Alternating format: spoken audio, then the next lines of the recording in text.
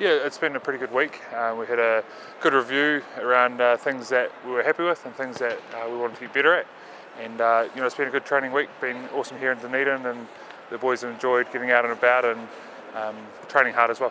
Biggest challenge for any uh, person um, going into a new team, especially you know, the All Blacks, is for them just to play their natural game. So they've been selected for a reason. Um, you know, they're good footballers, so hopefully they go out there and just play their natural game.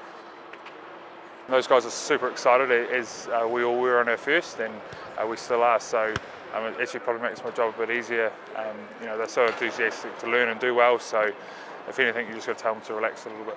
You've seen Shannon in training for three weeks now. How excited are you to actually see him in a test match beside you? Yeah, he's, uh, he's really excited. Um, you know, he just wants to get out there. Hasn't said a lot, but through his actions, he's shown that he's ready to go, and um, I'm excited to see how he goes.